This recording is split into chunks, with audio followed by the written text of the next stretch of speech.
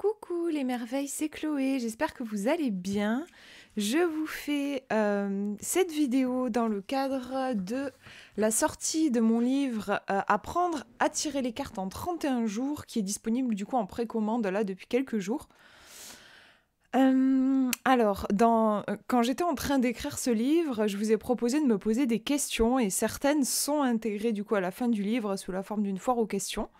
Et donc là, je vais répondre à une question qui m'a été posée mais que j'ai pas abordée dans le bouquin parce que sinon il aurait été beaucoup trop euh, épais.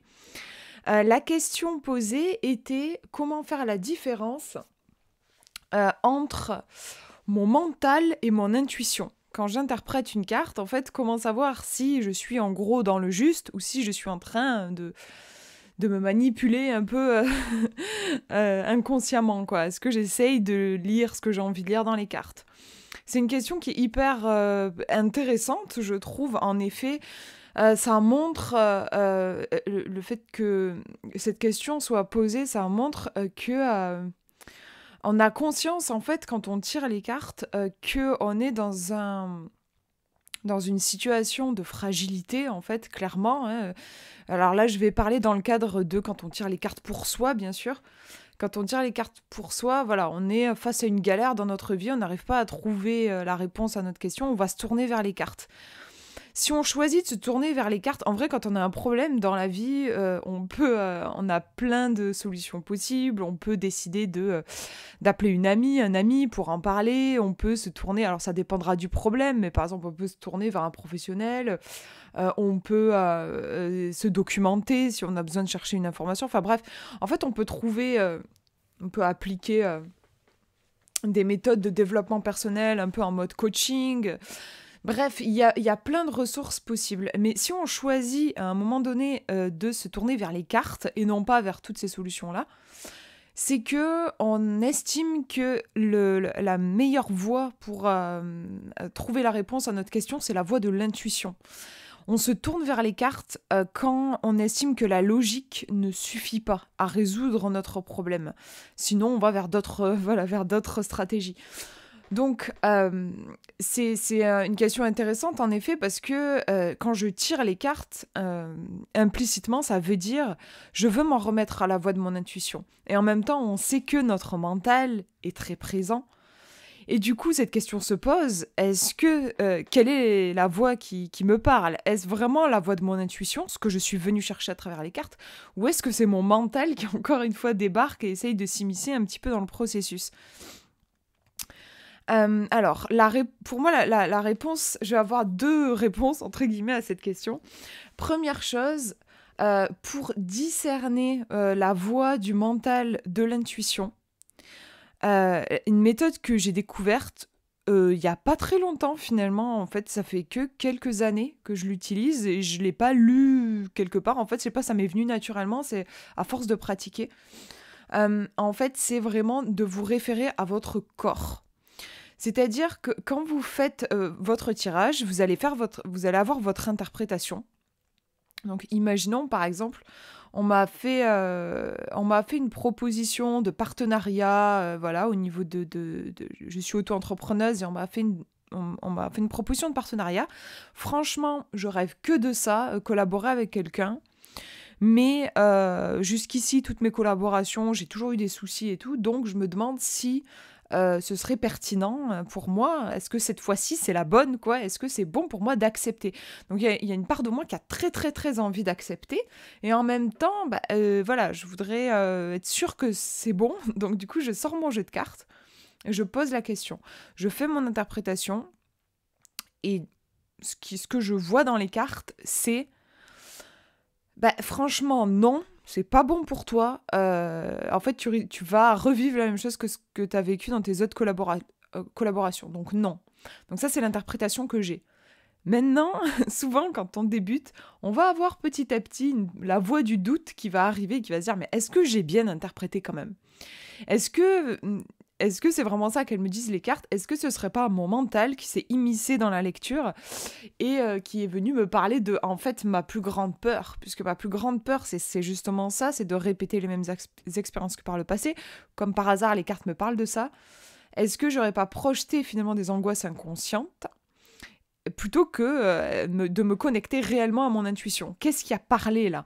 Là, là, le doute arrive. Moi, ce que je vous propose en ce moment-là, quand vous avez fait votre interprétation, quand vous avez votre interprétation, donc là, par exemple, dans ma situation, c'est euh, euh, j'ai une proposition de collaboration et les cartes me disent non, sinon tu vas répéter les mêmes erreurs quand je me, en fait, je me connecte à la réponse que j'ai eue avec les cartes. Donc non, sinon je vais répéter les mêmes erreurs. Et j'essaye de voir ce que ça fait dans mon corps. En fait, il faut vraiment se connecter au corps. L'intuition, elle parle au niveau du corps. Donc essayez de voir physiquement vraiment qu'est-ce que ça vous fait.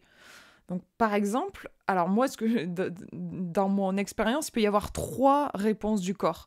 Soit il y a un truc, genre, le, c'est comme si votre corps vous sentez une fermeture. Il y a quelque chose qui est pas, comme si c'était pas ok, c'est fermé.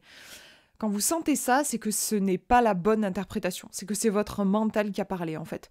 Donc, par exemple, là, voilà, si je sens, quand je me dis, euh, répétez-vous, en fait, l'interprétation que vous avez faite des cartes. Donc là, par exemple, non. Sinon, je vais répéter les mêmes erreurs que par le passé. Et là, quand je fais ça, je, sens, par exemple, dans mon corps que, en fait, euh, c'est fermé. Il y a quelque chose qui est pas. En fait, du coup, là, ça veut dire que non, c'est pas ça. Donc.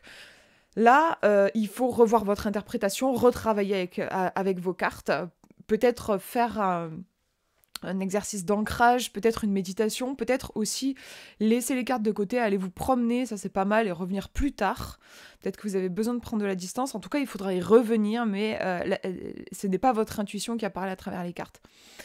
Parfois, vous allez avoir un sentiment de euh, un peu genre bizarre quoi genre dans votre corps il y a quelque chose de hmm, ouais mais non c'est pas tout à fait ça genre un peu oui, mais pas tout à fait. Il y a un truc un peu comme ça. Donc là, bah, ça parle de soi-même, hein, c'est que clairement, vous êtes sur la bonne voie, mais vous êtes peut-être allé trop vite dans votre interprétation à quelque chose qui a besoin d'être revu, c'est pas encore tout à fait ça. Donc là aussi, il va falloir retravailler votre interprétation. Et euh, bien sûr, la, troisième possibilité, je pense que vous l'avez deviné, c'est quand on a un grand sentiment d'ouverture, comme si notre alors moi c'est pas mal à, ce niveau-là, quelque chose qui s'ouvre, il y a même une espèce de joie euh, qui est là. Même si, et ça c'est important de préciser, je trouve, même si l'interprétation que vous avez eue des cartes ne vous fait pas plaisir.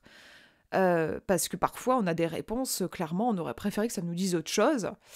Euh, mais si c'est la voix de votre intuition, si vous vous connectez à votre corps, vous allez ressentir de l'ouverture et même une joie.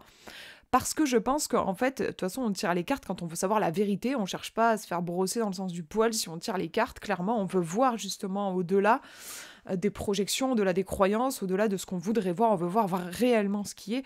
Donc, il y a une joie euh, d'être connecté à ce qui à ce qui est là et du coup bah, quand on sait vraiment ce qu'il en est eh ben, on peut prendre les, mesures qui s'imposent on peut euh, on peut enfin mettre en place les actions qu'il faut enfin voilà donc il y a un sentiment de en fait, on reprend notre pouvoir quand on se connecte à, ce qui est réellement.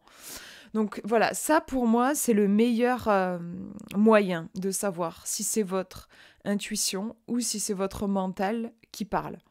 Après, honnêtement, je ne sais pas si c'est forcément accessible à tout le monde et notamment aux débutants. Comme je vous disais, moi, c'est quelque chose qui s'est développé chez moi euh, ces dernières années. Ça fait à peu près 8 ans que je tire les cartes, ça fait quand même un petit moment. Est-ce que j'aurais été capable d'avoir ce ressenti aussi clair euh, dès mes débuts? Je suis pas certaine. Donc, en tout cas, bien sûr, ça ne coûte rien d'essayer. je, vous, encourage vraiment à essayer de voir à chaque fois que vous avez une interprétation, essayer de voir dans votre corps si vous sentez quelque chose. Et après, euh, ce que je voulais vous partager, c'est que si justement vous voyez que c'est un petit peu galère pour vous euh, de vous connecter à votre corps et de sentir justement, de discerner cette voix du mental et de l'intuition, bah, en fait, moi, ce que je peux vous proposer, c'est de faire du préventif. En fait, c'est de, trouver des méthodes, d'appliquer des méthodes de lecture de cartes qui vont faire en sorte de dérouter votre mental. Ce qui fait que du coup, à la fin, vous allez avoir votre interprétation et vous êtes à peu près sûr que c'est votre intuition et pas votre mental qui parle parce que vous avez appliqué des, des méthodes avant qui ont complètement brouillé le mental, des méthodes dans lesquelles le mental ne peut pas s'immiscer en fait. Donc du coup, vous êtes tranquille, vous n'avez plus besoin de checker à la fin pour savoir si c'est votre mental ou votre intuition de toute façon, votre mental n'aura pas pu vous suivre. Donc ça, c'est des méthodes que je partage dans mon livre, euh, du coup, apprendre à, tirer les cartes en 31 jours. Le, dans le bouquin, il y a deux parties. Et dans la première partie, euh, je vous donne plein de méthodes différentes. Alors, je ne sais plus combien j'en partage, peut-être une, dizaine, je dirais différentes méthodes euh, justement pour dérouter le mental et extraire des informations de la carte. Dans la deuxième partie, euh, du coup, j'estime que vous savez interpréter une carte. Et donc, on voit euh, comment on peut lire les cartes ensemble, faire des tirages, faire des lectures pour d'autres personnes, connecter les informations entre elles. Enfin bref, en gros, on agence un petit peu, une fois qu'on a appris à lire un petit peu chaque mot, on va apprendre à les agencer pour faire une phrase. En gros, c'est ça. Euh, et dans les techniques que je partage dans la première partie, euh, je me suis inspirée de, d'autres, de, travail, de travail d'autres personnes. Euh, je me suis beaucoup inspirée de Denise Roussel, qui, qui a écrit le livre sur le, tarot psychologique. Donc, c'est, j'applique beaucoup de techniques de projection psychologique. Et ça évite vraiment que le mental s'immisce, cette technique. Je vais vous en parler, je vais vous donner un exemple. Parce qu'en fait, on est en lien direct avec l'inconscient. Donc dans l'inconscient, on n'a plus l'emprise justement du conscient et du mental. Euh, j'ai aussi, euh, je me suis inspirée aussi de, euh, c'est Sylviane Young qui est française, qui elle-même s'inspire d'ailleurs de Denise Roussel dans son travail, mais qui apporte aussi sa petite touche. Et Maria, comment elle s'appelle? Mince, je j'ai une mauvaise mémoire des noms, surtout que là c'est en anglais. Euh, Maria K. Je dirais. Attendez, je, vais essayer de vérifier avec mon portable pour pas dire de bêtises. C'est, euh, j'ai du mal à. Mais je pense que c'est ça. Hein. Ouais, Maria K. Voilà, qui, euh, qui n'est pas française pour le coup, mais qui a écrit un super livre 21 façons de, d'interpréter une carte. Un livre par contre qui est en anglais mais qui est hyper bien fait et elle donne plein de, de, méthodes aussi, euh, je dirais, créatives en fait pour interpréter une carte.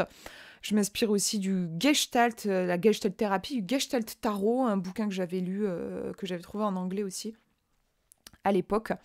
En fait, je dirais que ce sont des méthodes qui allient psychologie, créativité, euh, enfant intérieur, on s'amuse. En fait, c'est des petits jeux et du coup, votre mental va être complètement perdu. C'est pas son, c'est pas son domaine de compétence en fait, et du coup, vous allez faire parler une autre euh, partie de vous. Donc, je vais vous donner un exemple. Vraiment, là, c'est la base en fait de de ce qui est expliqué par euh, Denise Roussel dans son livre sur le tarot psychologique. C'est la méthode de la projection. moi, j'irai, j'ai envie de parler de créativité en fait puisque j'ai animé pendant euh, quelques temps des ateliers de créativité. Je suis une grande, grande fan euh, de la, créativité. Et euh, quand j'avais étudié un petit peu le processus de la créativité, j'avais lu que, en fait, la créativité, elle se passe en deux points. Et c'est ce qu'on va faire là avec les cartes pour les interpréter. C'est ce que je vous propose dans ma méthode. le premier point, c'est la divergence. Et le deuxième point, c'est la convergence. La divergence, en gros, on va laisser parler euh, notre enfant intérieur, notre... C'est une phase en fait qui est très, euh, qui plaît beaucoup aux rêveurs, aux rêveuses. Voilà, si vous vous reconnaissez dans ce côté très euh, à avoir toujours plein d'idées, à être très euh, plein d'imagination, plein de créativité. La phase de divergence, on va dire, c'est la phase pour les artistes et les rêveurs, quoi. La phase de divergence, en fait, c'est que vous allez euh, juste vous laisser complètement guider par votre inspiration. Donc, vous allez regarder la carte, mais je vais vous donner un exemple. Avec, j'ai le marqueur de papier juste à côté de moi.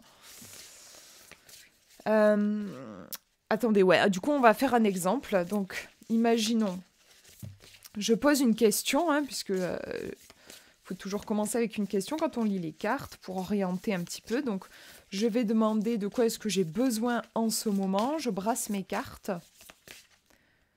et j'en tire une. Hop, voilà. Je vous la montre. Alors là, j'ai tiré l'apprenti.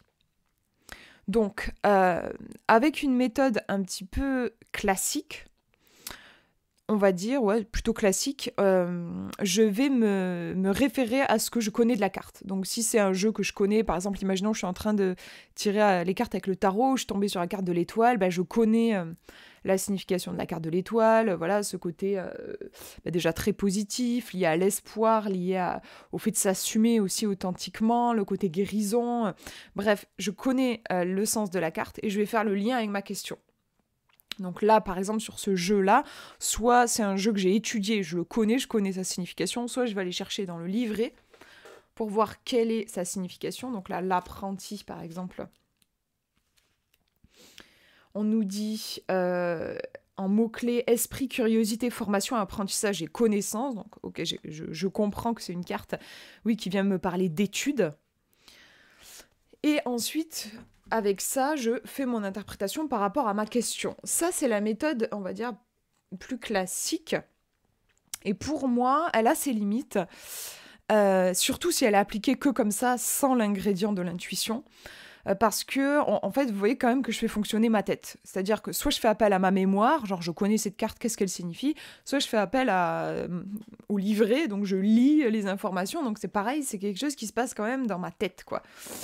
Euh, et ça, c'est limite parce que, comme je fais appel à ma tête, ben, elle pourrait bien s'immiscer dans le processus et venir apporter des ingrédients qui sont pas forcément euh, justes, en fait, pour avoir une interprétation au final qui n'est pas alignée et où c'est mon mental qui a parlé. Donc là, moi, je vais vous montrer une autre méthode avec cette fameuse divergence en dans un premier temps et convergence dans un deuxième temps. Dans la convergence, on va être dans un esprit beaucoup plus analytique. En fait, je, diverge, je pars dans le rêve, l'imaginaire, je converge, je vais dans euh, l'analyse, dans l'interprétation. Et je fais le lien avec ma réalité. En gros, je pars dans un autre monde et je reviens dans mon monde. En fait, je pars dans un autre monde pour capter des informations, c'est le monde du sensible en fait et du symbolique, et je vais revenir dans mon monde et le traduire en fait, le décoder. Donc par exemple, les enfants sont très doués pour cette phase-là. Pour cette phase de divergence, vous pouvez bosser avec euh, des enfants, avec des cartes, ils vont être super doués pour ça. Par contre, la phase de convergence, cet esprit analytique et d'interprétation, euh, c'est plus quelque chose qu'on est capable de faire étant adulte en fait justement, ce qui est chouette, c'est qu'adulte, on, on peut avoir cette capacité vraiment à faire les deux. Je m'éloigne et je reviens. Donc, je vais vous montrer, du coup, avec euh, la carte de l'apprenti. Donc, si je fais euh, la méthode classique, on va dire, je dirais de quoi est-ce que j'ai besoin? Bah, J'ai besoin de m'instruire, puisque j'ai vu que c'était une carte qui parlait de ça, d'apprentissage. J'ai besoin d'apprendre, j'ai besoin d'étudier. Peut-être que je ne suis pas encore... Euh, il y a quelque chose, une information qui me manque, il faut que je la cherche en ce moment, voilà. J'ai besoin de nourrir mon esprit peut-être. Euh, voilà. Maintenant, si je fais la deuxième méthode où je vais faire plus appel à mon intuition, je vais faire la première phase de divergence.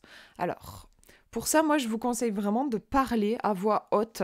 Si vous vous sentez trop ridicule, vous pouvez aussi écrire. Mais en tout cas, c'est bien de ne pas le faire dans votre tête. Parce que si vous le faites dans votre tête, euh, vous risquez, en tout cas moi, dans mon expérience, je sais que j'ai tendance à penser à cinq choses en même temps, en fait. Vous risquez d'être un petit peu troublé. Euh, ça risque d'être un peu le bordel. Alors que si vous parlez, il n'y a qu'une seule chose qui pourra sortir de votre bouche. Si vous écrivez, pareil, vous ne pourrez pas écrire cinq choses en même temps. Ça va vous obliger en fait à choisir comme un chemin dans votre pensée. Donc moi, je vous invite vraiment à soit à parler, soit à écrire et à vous concentrer sur l'illustration de la carte. Bon là on est sur le marcheur de papier donc on a des illustrations qui sont assez minimalistes donc ça va être rapide. Il y a des jeux euh, dans lesquels il y a plus de détails et du coup ça, ça pourrait être un petit peu plus long. Donc là, je dis tout ce qui me passe vraiment par la tête en y incluant mes ressentis. Et surtout, ce qui est important dans cette phase, c'est d'oublier, même si c'est pas facile, d'oublier la question que j'ai posée. J'avais posé euh, la question de quoi est-ce que j'ai besoin, je la mets complètement de côté, j'oublie que j'ai posé cette question. Tout ce qui va sortir de ma bouche là n'est plus connecté à cette question, juste à la carte. Parce que si vous restez connecté à cette question, bah, c'est votre mental qui va parler en fait, parce que euh, plus ou moins consciemment, vous allez essayer de répondre à la question. Là, on laisse tomber le rationnel en fait. Je dis juste ce que je vois et je vais me plonger dans un univers de sensations. Qu'est-ce que ça me fait ressentir? Donc là, j'ai un petit bonhomme, un petit marcheur de papier qui a un petit chapeau. Et c'est marrant, on dirait, alors je ne sais pas si c'est un bonnet de nuit, mais il n'y a pas de petit pompon au bout, j'aurais bien vu un petit pompon au bout si c'était un bonnet de nuit, ou un chapeau de magicien, peut-être un chapeau de mage. Il tient dans ses mains un parchemin qui est euh, argenté et qui est assez long. Je trouve ça drôle que ce soit pas un livre. Voilà, je me fais la réflexion. Euh, pourquoi un parchemin? Est-ce que euh, qu'est-ce que c'est? Est-ce que c'est un contrat? Est-ce que c'est une formule magique? En tout cas, le fait que ce soit un parchemin, je me dis que c'est peut-être une information particulièrement précieuse et peut-être une information, j'allais dire isolée. Euh, vous voyez, un livre, il va y avoir plein d'informations dedans. Là, juste un parchemin, je me dis, c'est peut-être juste une recette magique ou euh, un contrat, ou je sais pas, euh, peut-être une lettre. En tout cas, une information qui se suffit à elle-même. On n'a pas besoin de tout un, un livre. il y a aussi des petits parchemins qui sont au-dessus de sa tête. Il y en a un qui est tout enroulé, il y en a un qui est un petit peu plus déplié ça me semble être comme des étapes, comme si euh, peut-être, euh, vous voyez là c'est le, parchemin roulé, le parchemin un petit peu déroulé, le parchemin complètement déroulé. Ça m'évoque le fait d'avancer euh, petit à petit, pas à pas, un pas après l'autre. je me demande aussi si le fait que les, parchemins sont au-dessus de sa tête, est-ce que ce sont des parchemins qu'il a déjà lus, qu'il a déjà intégrés? Est-ce qu'il y aurait la notion de euh, je, ne pas brûler les étapes. Une fois que j'ai appris quelque chose, c'est bon, c'est acquis, je peux passer un deuxième step en fait.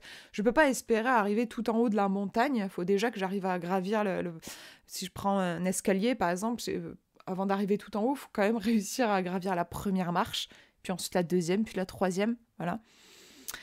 Hum, alors dans le marcheur de papier, l'oracle du marcheur de papier, il n'y a pas de, des visages. En fait, on ne voit pas l'expression du marcheur. C'est intéressant du coup de voir, euh, d'essayer de projeter, d'imaginer euh, quelle serait l'expression de ce marcheur. Moi, je le sens concentré. et ça m'aide à du coup à sentir l'ambiance de la carte. Il y a quelque chose de calme. Je sens que il y a un truc de l'ordre de j'ai tout le temps devant moi. Il n'y a pas il n'y a pas à se presser. Euh, vraiment, euh, j'ai tout mon temps. Voilà. Et il est même important que je le prenne, j'ai ce sentiment. La lune aussi, je la vois comme une mère qui veille. Euh, il y, a quelque chose d'assez protecteur dans la carte, dans ce que je ressens. Le, personnage est seul d'ailleurs. comme si personne n'allait l'embêter, quoi. Il y a ce côté-là, genre, je suis tranquille, je vais pouvoir lire jusqu'au bout de la nuit si j'en ai envie. Voilà, donc là, je vous ai fait la, phase de divergence. C'est-à-dire que je suis partie, j'ai même un petit peu raconté une histoire, même si, bon, là, c'était pas euh, une histoire complexe, mais vous voyez, j'ai raconté une petite histoire, en fait, en lien avec la carte. Tout en, c'est important d'inclure des ressentis, ce que je ressentais là, à l'instant T, en regardant cette carte. Donc vous faites ça jusqu'à ce que vous sentez en gros que vous n'avez plus rien à dire, enfin vous le sentirez quoi. Vous voyez que ça dure à peu près, euh, ça dure une minute. Bon ça dépend. Après je vous disais il y a des jeux plus complexes où peut-être vous aurez plus de choses à dire. Quand vous sentez que c'est bon, vous pouvez revenir donc dans la phase de convergence. La phase de convergence, comme je vous expliquais, c'est la phase où on va revenir à notre question initiale. Et là on va analyser ce qu'on vient de dire ce qu'on vient de nommer.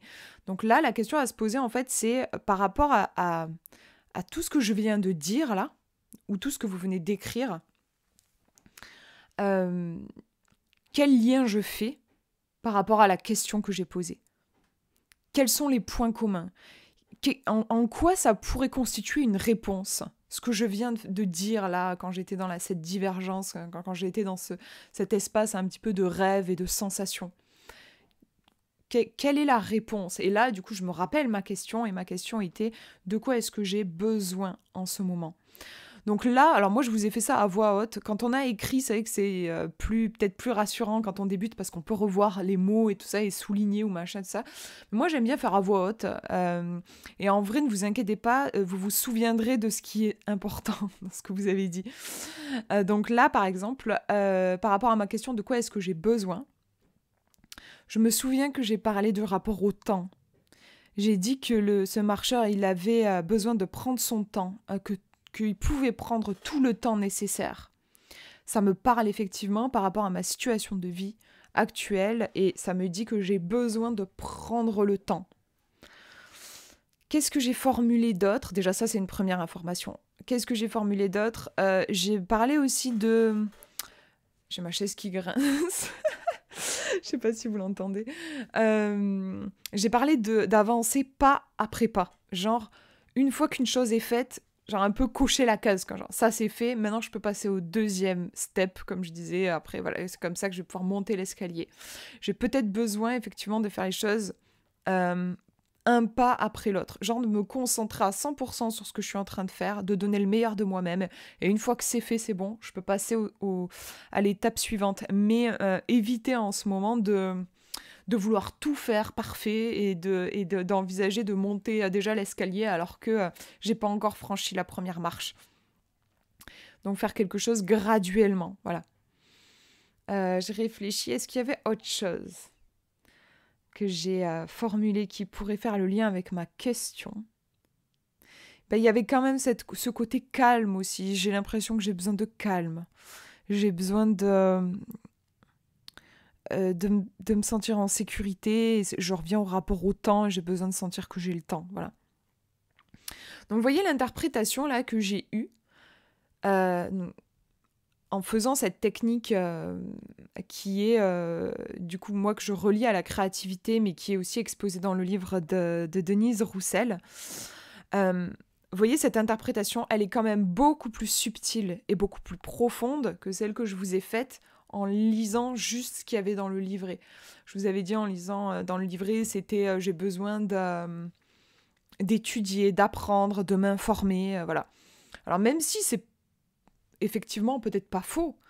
Euh, on peut rajouter ces informations avec celles que j'ai reçues là intuitivement. C'est-à-dire peut-être aussi, donc je vous disais, j'ai besoin de temps, un, pas après l'autre, et peut-être que justement, j'ai aussi besoin, dans cet espace où je me laisse le temps, j'ai peut-être besoin de lire, j'ai peut-être besoin de m'instruire, j'ai peut-être besoin d'étudier certains sujets qui me passionnent en ce moment, j'ai peut-être besoin de me plonger juste dans dans une passion, peut-être que j'ai besoin, euh, là ça me fait penser au livre forcément, et, ce, qui me, ce qui me vient c'est que j'aime écrire, peut-être que j'ai besoin de me lancer profondément dans l'écriture d'un bouquin et d'oublier tout le reste en fait. Ça peut être ça aussi, vous voyez, après c'est intéressant bien sûr, euh, je pense qu'il ne faut pas, euh, comment dire, exclure complètement la voix de la raison, quand on tire les cartes. Et bien sûr que si vous avez euh, une connaissance de la carte, euh, c'est intéressant. Et ça peut venir nourrir votre intuition, mais pour moi, ça ne doit pas être votre seul euh, et unique moyen de lire la carte. Sinon, vous risquez d'avoir des interprétations quand même vachement limitées. Et en plus, le mental a plus de chances de, comme je disais, de rajouter une petite couche qui, pour le coup, n'était pas du tout, n'était pas juste, quoi. Euh, un autre point aussi pour éviter que le, mental s'immisce, c'est vraiment rester en lien avec votre carte. C'est pour ça que moi j'aime vraiment euh, utiliser les illustrations.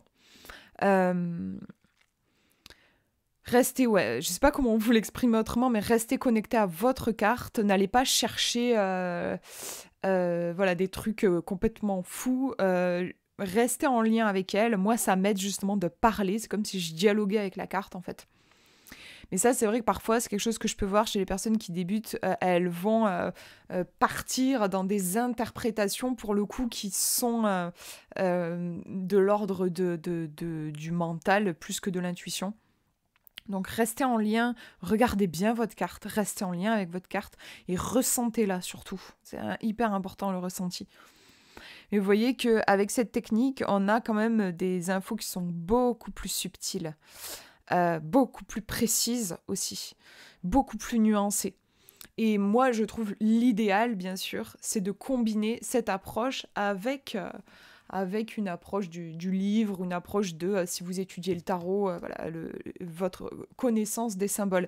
Mais mon livre ne traite pas de la euh, connaissance des symboles du tarot. Je vous apprends pas euh, qu'est-ce que signifie l'étoile, qu'est-ce que signifie le pape, machin et tout ça.